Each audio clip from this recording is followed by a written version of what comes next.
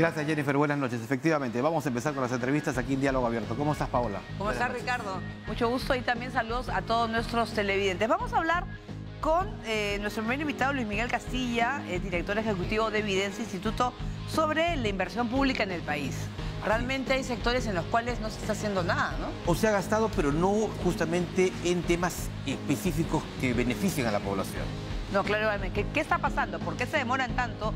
¿Y qué es lo que habría que hacer para mejorar eso? Y además dar una mirada al nuevo ministro de Economía también. Eso sí, es verdad. Sin duda. Es verdad. Luego vamos a hablar con Luis Francia, abogado experto en Derecho Penal Juvenil, a propósito pues de lo que ha sucedido antes de los partidos de la Liga 1. Pues ahora ya no se va a poder jugar con público y eso afecta, pero porque En las tribunas populares donde están las barras principales. se Al está menos, portando mal las barras. eh, efectivamente. Y a ver también qué ocurre, por qué esta situación de tanta violencia en los exteriores de los estadios. Y hablando de fútbol, también hemos hablado de un, de un caso que, bueno, que por supuesto ha llamado mucho la, la atención, que es el de Pablo Guerrero, pero no en el tema deportivo, sino en el tema de los contratos. Así es, en el aspecto laboral, acaba de terminar justamente hace instantes la reunión entre Paolo Guerrero y eh, Richard Acuña. No hubo declaraciones de ninguno de los dos. Vamos a ver en, en qué queda ese acuerdo, si realmente hay que cumplirlo cuando uno firma. Ya tienes un contrato. eso es un contrato. Vamos a hablar con Fernando Segarra, abogado laboralista. De esta manera empezamos diálogo abierto.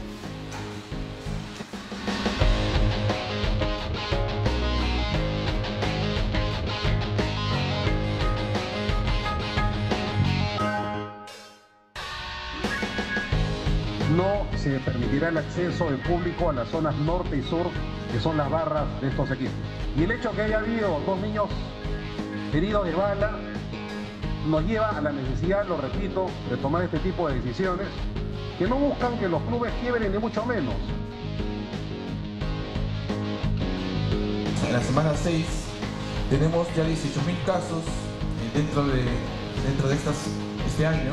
El tema del calentamiento y el tema del fenómeno del niño ha estado desde el año pasado ya generando efectos importantes que eh, las condiciones para el zancudo son mucho más fáciles de poder ellos eh, reproducirse y que eh, se ha arrastrado, digamos, esta problemática para este año.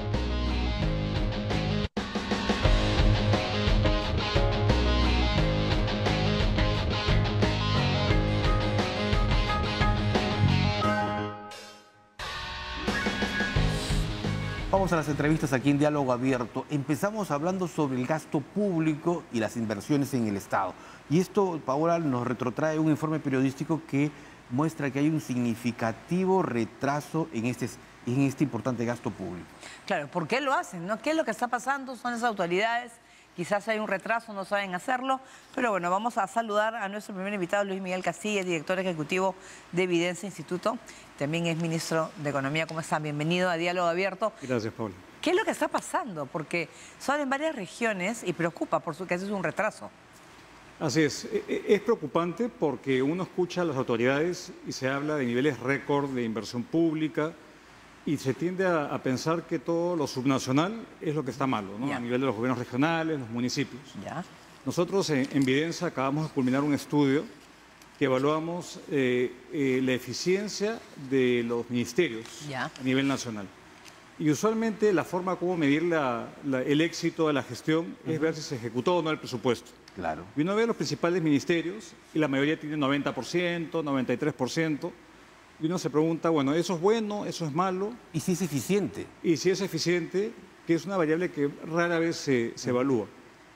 Y nos topamos con sorpresas bastante, bastante eh, grandes, ¿no? Para empezar, tenemos que cinco ministerios se demoran en promedio más o menos entre 1.000 a 1.200 días en culminar una obra. Estamos hablando, el MINSA en particular, es el ministerio que se toma como 1.300 días, que es tres años y medio en promedio en culminar una obra. ¿Y por qué pasa eso? ¿Porque es por falta de conocimiento de las personas que tienen que llevar a cabo esos proyectos o qué? ¿O mucho Hay- trámite burocrático? Hay múltiples razones. Esto obviamente es imputable al Ministerio de Salud. No estamos hablando de los municipales, de los hospitales que están a cargo de los gobiernos regionales.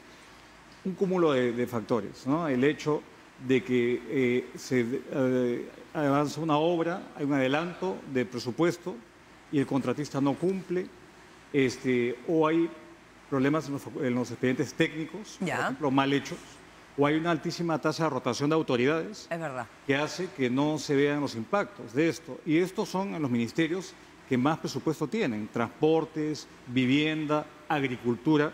Y es un problema serio porque la población reclama, obviamente, Claro. servicios de estos ministerios y no los recibe. Claro, precisamente tenemos acá unos retrasos de proyectos y, por ejemplo, tiene razón, MINSA, 1.350 días, el MINEM, Vivienda, MTC, Midagri. Y MINSA quizás porque, como cambian a veces de ministro o de autoridad responsable, mientras vuelve a retomar la obra, ahí se pierde tiempo, ¿o no? Por supuesto, porque no solamente hay una, una rotación de autoridades y una curva de aprendizaje, sino que muchos funcionarios eh, se paralizan y esperan que cambie al siguiente titular del Claro. ministerio Claro. para poder eh, llevar a cabo su responsabilidad. Doctor Castillo, ¿este estudio abarca en qué periodos? ¿Qué años? Este es el- esto es al cierre del 23, al 31 de diciembre, ¿Ya? Y esto eh, toma a los ministerios que tienen presupuestos de inversión pública más de, de 100 millones de soles. Son los principales ministerios. Acá no está incluido defensa porque la información es reservada, Reservada, claro. es, eh, confidencial y no se puede escudriñar en variables distintas a la ejecución del presupuesto de obra pública. El segundo sector es energía y minas. Supongo que se trata de los proyectos mineros. No, no, no. ¿No? Estamos hablando de proyectos de electrificación rural, por ejemplo. Los mineros son privados, Sí, ahí no, no es inversión pública. Pero vemos que estos ministerios que tienen mucho presupuesto y tienen unidades ejecutoras que tienen la capacidad, se supone, eh, tienen todos estos días en promedio. Hay incluso algunos casos donde se lleva a 5 hasta 10 años de retraso en una obra que no da los servicios a la población. Entonces, esto es una cosa muy preocupante y en particular, no sé si van a poner el gráfico, pero un sector que a mí me preocupa mucho, aparte de los que están ahí mencionados, es que el sector que sale peor calificado de todos, los 10 que evaluamos, es interior. Es de Interior. seguridad, que tiene que ver con la seguridad. Correcto, estamos en una crisis de Claro, inseguridad en el claro, país claro. que le pasa factura a la economía, que crea pues, una zozobra entre los, ciudad- entre los ciudadanos y Por ahí- vemos que en el caso de interior pues, hay problemas, pero ahí hay los principales proyectos que tienen sobrecostos. ¿Cómo calculamos los sobrecostos? Es cuando se aprobó el expediente técnico, que ya es Ya. cuando comienza la obra pública, y los costos actualizados. Y vemos que hay retrasos y sobrecostos en proyectos, y ahí está la lista de los principales proyectos que tienen sobrecostos, en transportes, en vivienda, y, y son proyectos que tienen, se supone, mayor capacidad que un gobierno regional o que un municipio. Ajá. ¿Y estos sobrecostos responden básicamente a qué casos? Bueno, acá estamos viendo en, estamos viendo en, la, en la- en la lámina eh, que está siendo proyectada los principales proyectos con nombre y apellido. Pero si uno puede ver eh, el- los retrasos que hay, están en los cinco ministerios que he hecho men- mención. Claro.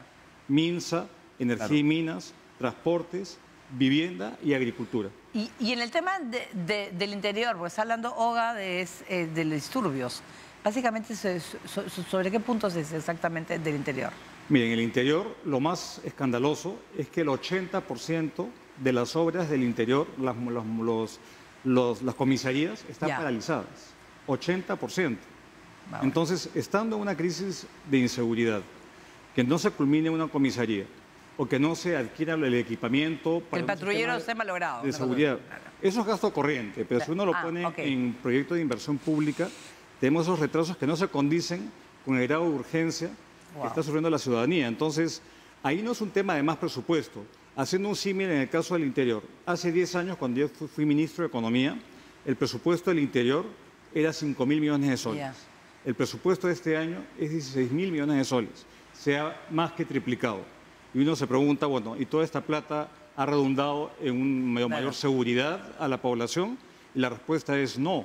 Y si uno pone la lupa en los proyectos de inversión pública, uno ve que hay un drama. Entonces, ver que se ejecute eh, el presupuesto público, el grado de ejecución, obviamente es importante, pero cuando uno comienza a contabilizar obras paralizadas, obras que nunca cierran y por ende no pueden darle servicio a la ciudadanía, obras que tienen eh, años de retraso, sobrecostos o falta de transparencia, es medio complicado y estamos hablando del gobierno nacional. Y estas, están estas obras están paralizadas por este, Contraloría porque se habló de un buen número.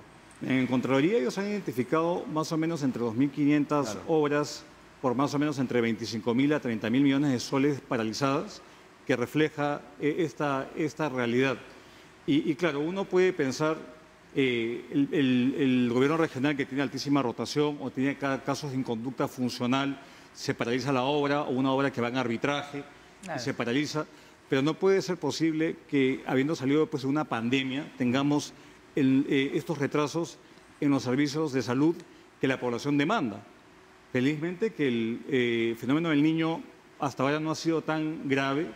Hay una, digamos, epidemia de dengue y de, otros, y de otras enfermedades, pero no hay capacidad de atención hospitalaria Falta. eh, a muchos ciudadanos que obviamente están insatisfechos con esto.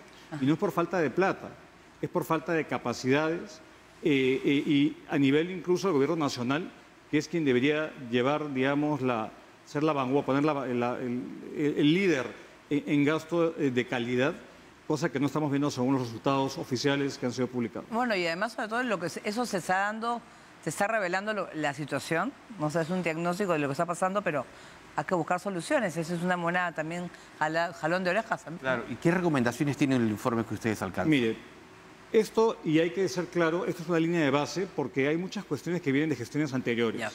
Entonces, decir que una obra paralizada eh, es responsabilidad del titular, eh, eh, digamos, no, no es correcto. Esto viene con una Claro. inercia del pasado muy, muy grande. Entonces, acá lo que hay que mejorar, creo yo, en primer lugar, es tenemos una ley de contrataciones que, está en el Congreso parado. Es un proyecto de ley que fue presentado por el Ejecutivo y que urge que se discuta. Ojalá que el ministro actual lo impulse en el Congreso. Tenemos en general un problema de capacidades que los funcionarios a cargo de la inversión pública en el país no cumplen con las aptitudes básicas. Entonces, implementar la reforma del servicio civil es absolutamente necesaria. Tenemos a veces un sistema de control interno que tiende a paralizar la toma de decisiones, porque muchas veces eh, el funcionario teme ser sancionado Claro. y la mejor acción es la inacción. Entonces creo que son factores que tienen que avanzar porque no podemos seguir diciendo que tenemos, somos un país que, que tiene muchos recursos, pero si finalmente la población no siente, no percibe beneficios, hay un problema serio. A mí lo que me, lo que me, me preocupa es que a veces hay, hay proyectos mal hechos o mal planteados. Eso, eso no debería fallar. Bueno, No de- hay o sea, muchísimos proyectos. No debería pasar eso. Y tener proyectos paralizados. Paralizados, O claro. proyectos que tienen un sobrecosto muy grande. Un proyecto que comenzó eh, valiendo 100 y acaba valiendo 300, bueno, hay un problema. Y mucho tiene que ver, este, Paola, en la fase de programación, que es la fase, la fase más débil. Cuando uno planifica cuál es la brecha a cerrar, eh, es, es la parte más débil del, del- del círculo, de, del ciclo de, de- de la inversión pública. Claro. Uno planifica, programa, asigna Claro. recursos y luego los ejecuta. Y la parte de planificación es la parte más débil en el Estado, obviamente mucho más en los gobiernos regionales y locales, pero si estamos viendo una evaluación de los ministerios, eh, digamos ahí eh, es un problema eh, serio en los tres niveles de gobierno. En cuanto al ministro Arista, anuncia medidas de austeridad para los próximos días, ¿no? Va a ser el primer paquete de anuncios que va a entregar. Usted justamente en una entrevista hace poco decía que las medidas deben ser efectivas y a corto plazo. ¿Esto va con el, digamos, con lo que puede hacer Arista en los próximos días? A ver, el tema de inversión pública no es un tema que se resuelve, digamos, con una medida o un decreto. Hay que crear capacidades, hay que hacer reformas, cambiar cuadros y eso toma tiempo. Pero lo que el ministro Ariza tiene como la principal, eh, eh, el principal desafío es restaurar la confianza de la ciudadanía, de los inversionistas, eh, y esto pasa por resultados. Entonces yo veo, por ejemplo, con muy buenos ojos que finalmente se pudo destrabar la ampliación del proyecto Antamina, que es un proyecto por 2 mil millones de dólares que va no solamente a ayudar a la región Ancash, sino que es una señal de proyectos que tomó mucho tiempo en ser destrabado y finalmente eh, ve luz al final del, tu- del- del túnel. Creo que lo importante es transmitir un sentido de eh, resultados que le fue esquivo a la gestión anterior. Mucho slogan, mucha plan, punche, A, B, C y D y falta de resultados. Y eso es lo que le ha pasado factura a la credibilidad del MEF. Eso es un factor central. Y lo otro es recomponer las cuentas fiscales. Eh, el año pasado la recaudación cayó más de 10 mil millones de soles, producto de la recesión. La recesión, es- estamos dejando ese periodo y el crecimiento va a comenzar a acelerarse, ojalá. Y eso va, va a, con- va a tener que venir con una mejora en sanear las cuentas públicas.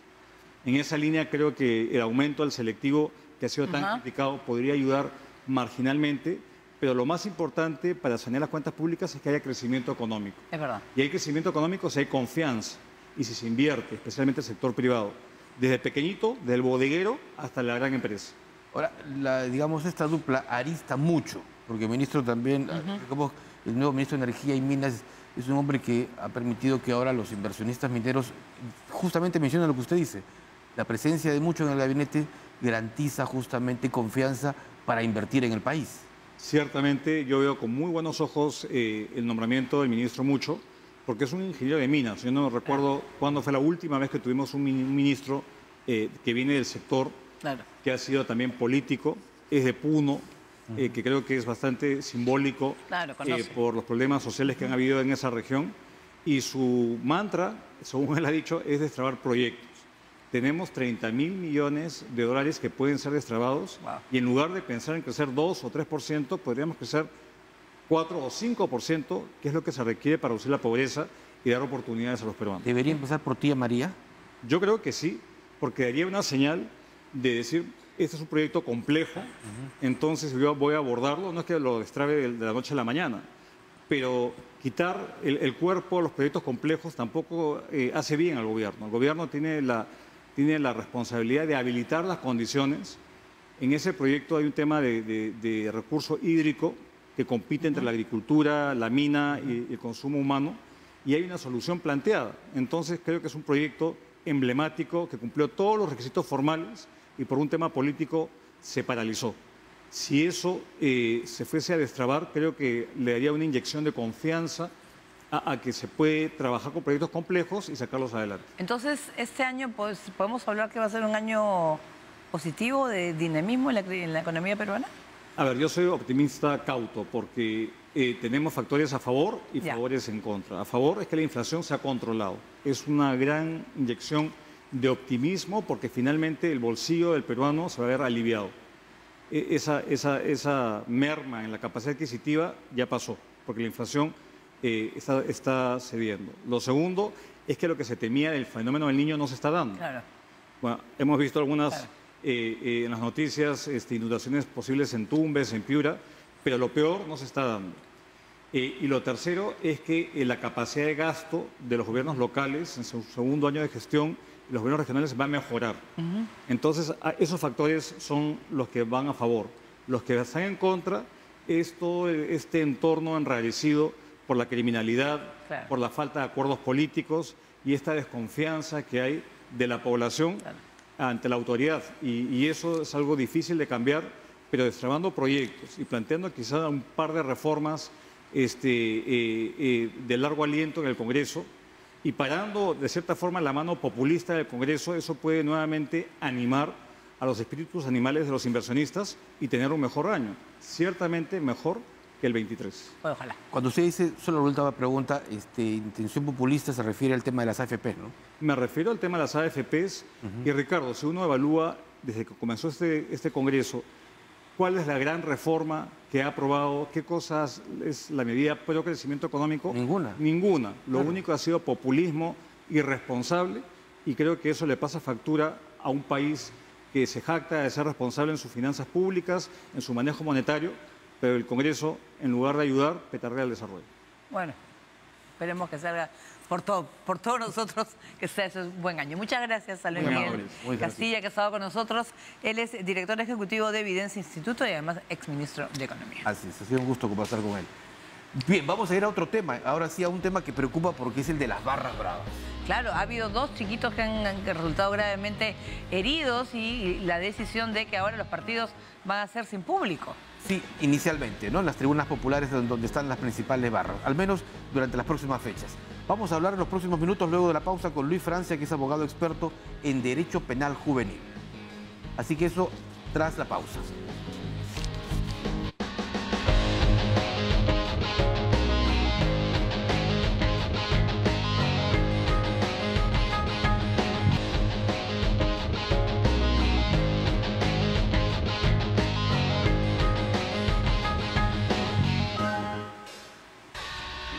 Diálogo Abierto, lo habíamos adelantado Paola para hablar sobre las barras bravas. En la primera reunión que ha tenido hoy el gobierno con los dirigentes del fútbol, se ha determinado que la próxima fecha, tanto Alianza como Universitario, jueguen sin sus barras en las tribunas populares. Claro, todo debido pues a lo que sucedió ese fin de semana. Lamentablemente dos menores de edad han resultado heridos, uno de ellos de, de gravedad. Y por supuesto uno se plantea, ¿no? El fútbol para jugarlo en el estadio, no para estar en las calles causando desorden y miren lo que ha pasado con esos niños. Ahora, Vamos- hay que decir también, Paola, permíteme, que las barras, claro, las barras están hechas para apoyar a sus equipos, pero sin embargo hay gente que, bueno, delincuentes que también que se se aprovecha. aprovechan para ponerse el eh, uniforme de cada equipo y hacer sus fechorías. Ah, no, por supuesto. Eh, vamos a hablar ahora con el doctor Luis Francia, abogado experto en Derecho Penal Juvenil. Muy buenas noches, bienvenido a Diálogo Abierto. Paola Ricardo, buenas noches, ¿cómo están? Bueno, ¿cómo, cómo ve esa medida, bueno, esa primera medida, ¿no? De sin público por la violencia, porque estábamos viendo, bueno, lo que ha pasado con los niños, ya eh, el año pasado también había pasado con, eh, a- había fallecido personas aquí cerca por la Avenida Cuba. Es el fútbol, que debería ser deporte, se convierte luego en violencia en las calles. Exacto, estamos frente a lamentables hechos que originan la muerte de personas inocentes, ¿ok? Porque por más que puedan decir que estos chicos pudieran haber estado conjuntamente con otros arengando a uno u otro equipo, eso no implica, ¿ok? Que la consecuencia de esos actos, que pudieran ser ilícitos, deriven la muerte de una persona, ¿ok? Este, entonces estamos ante hechos lamentables. Eh, ah, respecto a su pregunta en concreto, a mí me parece una medida bastante inocua. Eso no va a impedir que las barras ingresen a los estadios. Eso no va a impedir que personas, como ustedes indican, no solamente violentas, sino que alguno, alguno- en alguna ocasión también con este, relaciones delincuenciales, sigan haciendo lo que están haciendo, porque al final no les perjudica a ellos. Ellos van a poder seguir ingresando. Claro. Tal vez les cuesta un poco más de entrada, tal vez, ¿no es cierto? No, ir a, a ir a Popular no les sea más cómodo que ir a otros, pero finalmente van a ingresar. O sea, esta medida este, me da la impresión tiene un carácter más simbólico que efectivo. Aquí hay diversos niveles de atención que deben establecerse, así que me parece que mm, no sería la solución. Ahora, cuando usted habla de medidas inocuas, so- eh, se refiere, doctor Francia, a que no van a popular, pero se pueden ir a Oriente y a Occidente. Igualmente van a estar presentes en Claro. los estadios. ¿Y cuánta responsabilidad tienen los clubes? Porque los clubes entregan entradas a sus Claro. barras. ¿no? ¿Se acuerda usted que hace años atrás también el Ministerio del Interior acordó el empadronamiento de barras? Pero claro, se empadronaron los buenos, ¿no? No incluyen a los malos nunca, ¿no?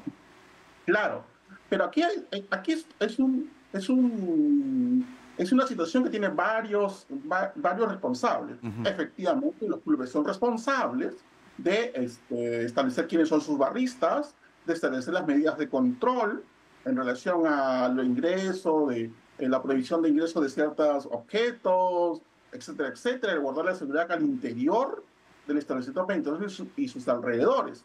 El tema es que, claro, cuando se está un poquito más lejos, el problema continúa. ¿Por qué? Porque se ha hecho costumbre de que las barras comiencen a transitar desde varias, varios kilómetros, incluso antes, para llegar al, al estadio. Y ahí hay un tema muy concreto, ¿ok? S- Sobre este punto, el tema de los corredores de seguridad. Es decir, si va a ir un grupo, un grupo eh, numeroso de personas a un estadio, es claro que ese, ese, ese grupo, grupo de personas no, va a ir, no puede ir por cualquier lado. Tiene que haber una ruta segura, ¿ok? Mediante la cual ellos procedan a dirigirse hacia ese espacio. Si es conocido que hay una zona que alberga a personas que son contrarias a ese equipo, mm, es evidente que no se debió permitir el ingreso a esa zona Claro. porque evidentemente iba a originar un, un enfrentamiento. Es decir, hay aspectos muy concretos en relación a medidas para hacer frente a este tipo de situaciones. Ahora, por otro lado, los clubes, efectivamente, el club podrá decir, bueno, no sucedió en el estadio, pero ¿hasta dónde abarca mi responsabilidad? Claro. Una cuadra, dos cuadras, diez cuadras, un kilómetro. Y ahí también yo creo que en, en cierto momento hay que ser responsables de los clubes de esto. Claro. Porque claro, estamos lamentando vidas, efectivamente, y es doloroso, pero también que hay afectación al patrimonio. Claro. También se destruyen este, eh, Lunas, carros. Claro. Hemos visto a los vecinos de tanto de, de los, de los equipos conocidos que son los grandes perjudicados con los clásicos. sobre todo los de la ¿no? Molina. De la Molina, acá en la Victoria también. Entonces, di- eh, lo que es, es que eso, eso ya deja de ser deporte. Usted que es experto pues, en derecho penal juvenil, estos chicos así sean que tengan 16 también tienen responsabilidad. También hay que sancionar, hay que, eh, deben asumir lo que están haciendo, porque si, si yo me voy a ver un, un partido, la fiesta es en el estadio, no es haciendo disparando o haciendo, no sé, pues de actos delincuenciales en la calle. O sea, se aprovechan de eso para poder hacer otras cosas. Exacto. Ahora, efectivamente, ojo, las barras están conformadas por adultos y por adolescentes. El adulto que comete un ilícito, disparar, matar, destruir, originar disturbios, tiene una penalidad. El adolescente de 14 a 18 años que comete algún ilícito de eso también tiene responsabilidad. Se los procesa. Eso, eso, eso es clarísimo. Si se, se detiene una persona y hay elementos probatorios suficientes para decir, bueno, él disparó, él apuñaló, él destruyó, él agredió a otra persona, efectivamente hay un proceso eh, bajo las garantías eh, que tiene un adulto también, que va a derivar en, posiblemente en una internación. Y la inter- internación puede ser hasta seis años u- otro, otras situaciones adicionales, Ahora- dependiendo del, del contexto y la situación en específico, ¿verdad? El- el- Que sí, hay respuestas específicas sobre ese punto. Doctor Francia, el Ministerio Público ha difundido un tuit en el que señala que se ha dispuesto nueve meses de prisión preventiva contra Kevin Huarcaya, investigado por presunto delito de disturbios, justamente a raíz de estos hechos que estamos viendo en pantalla. ¿Qué configura el delito de disturbios y cuál es la sanción y si es, digamos, la mejor eh, medida que se está dictando o se está solicitando a través de, la Fiscalía? A ver, el delito de disturbios es la afectación a la, a la tranquilidad, a la seguridad mediante ante actos de violencia en espacios públicos. ¿Ok? Este, por lo tanto, configura tanto para un espectáculo deportivo, como tal vez para una manifestación, este, una protesta social inadecuadamente llevada. El delito de disturbios es, es bastante, o sea, se, se, se configura en varias situaciones. Ujú. Pero ojo, este, habría que ver con detalle el caso. Efectivamente, tal vez lo que más a mano haya tenido el Ministerio Público en estos momentos es el tema del disturbio, es decir, la participación en actos de violencia contra personas, contra bienes en un espacio público. Pero lo que aquí, se- aquí seguramente está desarrollando la investigación es para ver si esto se amplía a lo que sería, a un, a lo que sería un homicidio que evidentemente tiene una pena mucho mayor. Claro. Porque aquí lo que estamos hablando, tal vez de, un- de un homicidio o intento de homicidio o lesiones graves, depende de cómo se configure o cómo se presenten los elementos probatorios en este caso en concreto. Claro, y además está- hay distritos como Santanita, nos estaban comentando que estaban planteando la posibilidad de eh, evitar que eh, puedan desplazarse de las barras bravas por, por sus calles. No sé si será en bus Claro, o irán... o- prohibir- prohibir desplazamiento, ¿no? por las calles. Entonces, eh, porque al final... Yo, por ejemplo, un domingo me voy a comprar tranquila y, y- y me encuentro con una, con, con una de ellas, Como o ser víctima, como ocurre, ha pasado.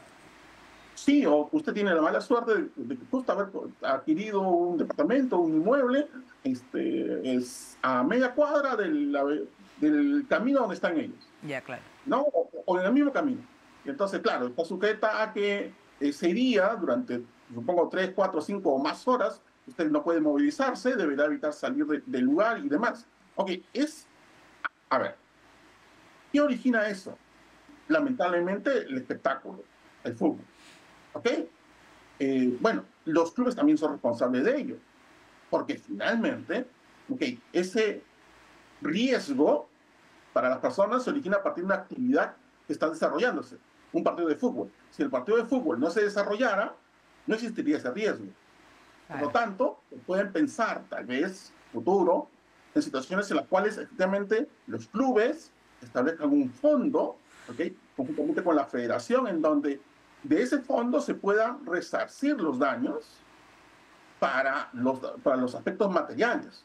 ¿verdad? Porque, claro, uno no, no va a tener, este, estar eh, atento a cada partido, a cada clásico o, o partido que, cualquier otro partido que se, realice cerca para estar buscando reparar cada, cada vez que suceda esto su, su inmueble, del inmueble, los vidrios, el jardín, etcétera, etcétera.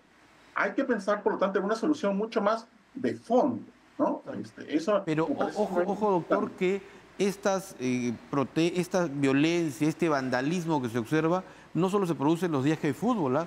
ahí en la zona de Nochetos, donde ha sido el, epicentro, es prácticamente pan del día. Es decir, todos los días. Sí, un, un, sector, un sector de Nocheto es de la Alianza y otro de la, de la U, y cuando se encuentran, se pelean, sea cualquier día, se pelean.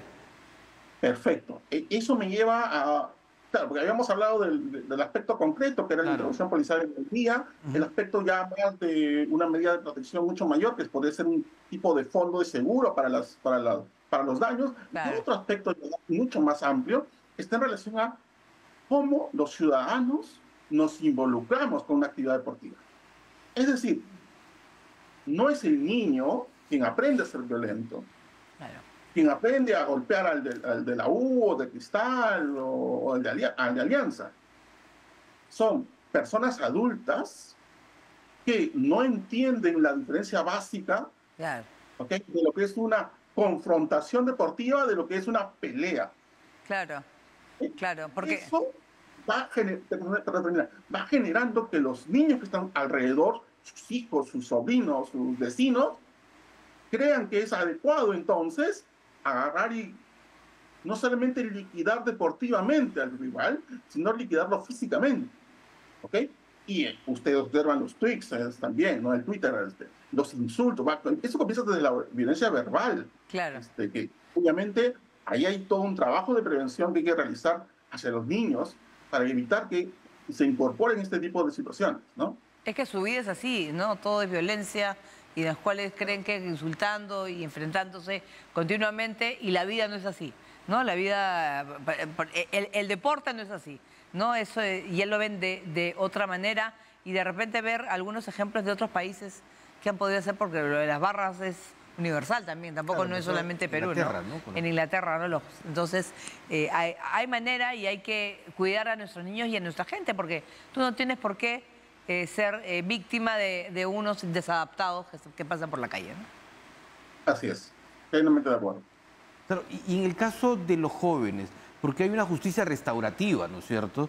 Hay la posibilidad de que estos jóvenes, que, desde los 12, 14, 16 años, que se dejan llevar a veces por ese apasionamiento que luego, como usted lo decía, se transforma en actos delictivos, puedan recuperarse?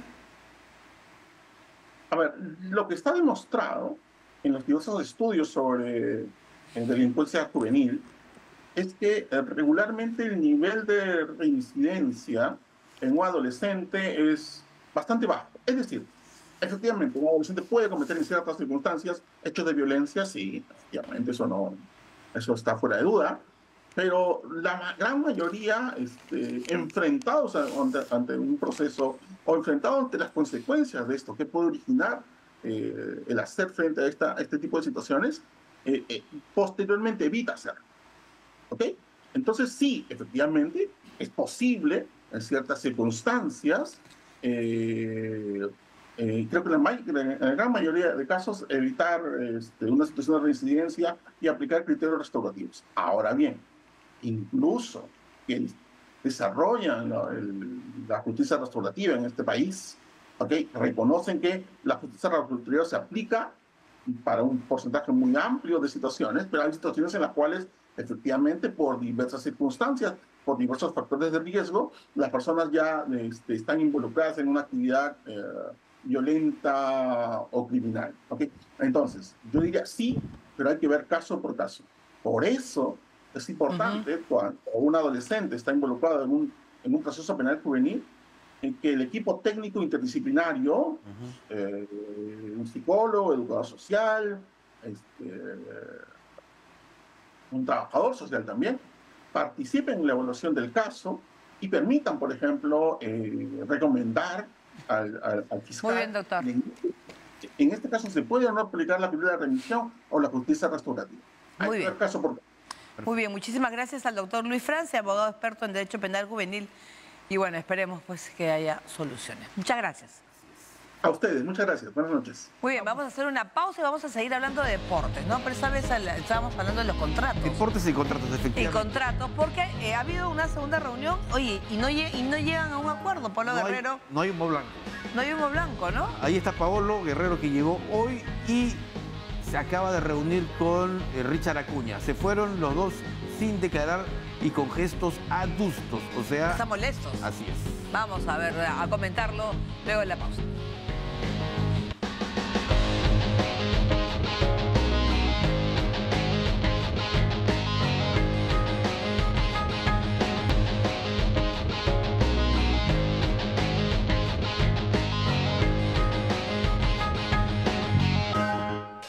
Bueno, la noticia de esta noche es que luego de dos reuniones, Paolo Guerrero y Richard Acuña, que es el presidente de la Universidad César Vallejo, no han llegado a ningún acuerdo. Dos reuniones en la casa de eh, la mamá de Pablo Guerrero, de Doña Peta en San Isidro.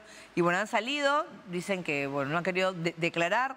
Pero vamos a hablar sobre el tema de los contratos, porque Así eso es lo que tanto se ha hablado de que, eh, bueno, Paolo firmó el contrato y luego se arrepintió al parecer, pero ¿qué significa eso? Vamos a hablar con el doctor Fernando Segarra, que es abogado laboralista eh, del estudio Uralex, para hablar sobre, sobre el tema de los contratos, doctor.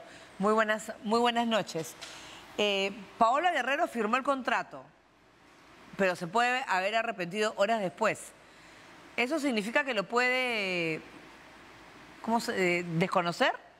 ¿Cuál es la situación de un contrato laboral? Buenas noches, Paola. Buenas noches a toda tu audiencia. ¿Cómo está? Gracias por la invitación. En principio, tenemos que entender de que los contratos son ley entre las partes.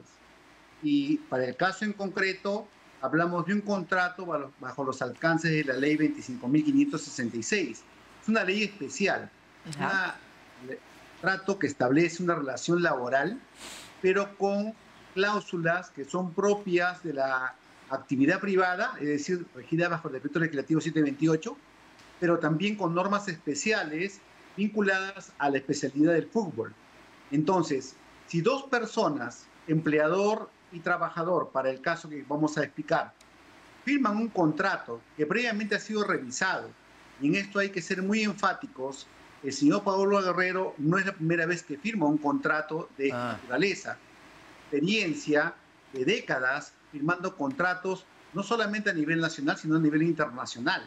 Entonces, es obvio de que esa persona está asesorada con un letrado o letrados que han eh, estudiado las cláusulas que comprometen y obligan a las partes. Entonces, cuando yo celebro un contrato de esta naturaleza, quedo obligado, tanto el empleador, en este caso el club César Vallejos, como también queda obligado el trabajador, en este caso el futbolista Paolo Guerrero. Los contratos son ley entre las partes. Doctor Segarra, buenas noches. ¿Desde, desde qué momento tiene vigencia un contrato laboral? Desde el momento que se firma el contrato, las cláusulas se vuelven obligatorias. Entonces, a partir de ese momento, yo no puedo decir que desconozco un contrato o porque de pronto ha aparecido un hecho y yo considero que es un hecho lesivo para mí o para mi familia y por tanto no debería ser de aplicación inmediata este contrato. La normativa establecida en nuestra legislación y en la legislación suplementaria de carácter obligatorio y vinculante para este tipo de contratos establece causas muy concretas de resolución Sí. contractual que para el caso de la FIFA le dice rescindir. Y Ujú. acá en nuestro ordenamiento jurídico tenemos resolución contractual. Sí, doctor, y además lo que dijo Pablo Guerrero era, era que ni siquiera le habían dado dinero. Claro. ¿Eso es, eso no tiene nada que ver? Igualito, el contrato ya fue firmado. Claro que sí, efectivamente. Una- pensemos en un contrato de naturaleza laboral simple. Si yo firmo un contrato y evidentemente voy a trabajar el primer día, no me van a pagar, me pagan justamente de acuerdo a lo pactado Claro. la quincena o a 30 días. En el caso puntual de- del contrato celebrado con el Club César Vallejo, el contrato surte todos sus efectos con la firma. Entonces, a partir de ahí vienen las obligaciones de garantizar una casa, de garantizar eh, de pronto condiciones laborales, como de repente tener una movilidad, tener ciertas eh, joyerías, singularidades, puede pedir. Pero es, es un contrato que ya desplegó todos sus efectos. Por eso que se ha puesto la camiseta de Club César Vallejo, por eso es que los sponsors comienzan Claro. a invertir la proyección que viene como consecuencia de este contrato. Claro, porque él ya se convierte en trabajador del Club César Vallejo, no solo por el contrato, por la camiseta, sino además porque permite que un preparador físico viaje Claro. a Brasil y lo esté justamente preparando y adiestrando para su, digamos, su, su presencia ya en el fútbol su peruano. debut. Claro. Efectivamente, cuando ya el contrato se firma, obliga a las partes. Entonces, las obligaciones del club surgen inmediatamente efecto y también las obligaciones del trabajador de concurrir, por ejemplo, Claro. a los entrenamientos, Por a los tanto- pactados. Por tanto, entonces la OICB tiene toda, digamos, la sartén por el mango para pedirle una indemnización. Sí, realmente la, la UCB tiene tres alternativas. Una, permitir que Paolo siga ejecutando el contrato y que Paolo Guerrero reflexione, analice las consecuencias de su decisión y se someta evidentemente a lo que ya firmó y juegue con el Club César Vallejo. La segunda opción que tiene es que pueda el Club César Vallejo transferirlo, o lo que se dice popularmente vender, el derecho que tiene el club hacia otro club que lo desee adquirir para que pueda de alguna manera compensar toda este, esta lesión económica que está recibiendo. La tercera es prestarlo bajo los alcances normativos que establece justamente la Federación Peruana de Fútbol y la FIFA. Entonces, si es que estos elementos no se dan, la resolución unilateral solamente está pensada en casos muy concretos, que para el caso que estamos comentando no aplicaría. Muy bien, doc- doctor. Entonces parece que todo Paolo va a tener que cumplir su contrato, ¿no? O- O, pagar. ¿no? Efectivamente. O pagar esa penalidad. Muchísimas gracias, pues, Lamenta- al- la- lamentablemente para él, ¿no? Sí, pues. ¿No? Perfecto. Muchísimas, Muchísimas gracias, doctor gracias. Fernando Segarra. Muy amable. Muy A gentil. usted para servirlos. Muchas gracias. Así que, bueno, ya sabes que un contrato se honra, ¿no? Y eso tiene fuerza Si de ya ley firmaste- ante las partes. No hay nada más que decir. El, el- el gran tema, Paola, es que, según lo que se ha logrado conocer, eh, la OSB ha pagado 1.200.000 dólares por el pase de Paolo Guerrero. Si lo quiere prestar o lo quiere transferir, ¿hay algún otro club, Alianza, la U, en el Perú, que quiera pagar 1.200.000 dólares por ese pase de un sé. jugador que tiene ya 40 años? Es que no ha pensado, Paolo. Yo creo que eh, ha actuado impulsivamente y no ha reflexionado. Y por eso, antes de firmar, reflexionar. Y conversar con tu abogado. Sí, pues. Ese es un gran dilema que ha generado el caso de Paolo Guerrero. Esperemos que mañana haya por fin ya humo blanco. Humo blanco. Mañana lo vamos a tener informado. Gracias por acompañarnos el día de hoy en Diálogo Abierto. Nos vemos. Buenas noches.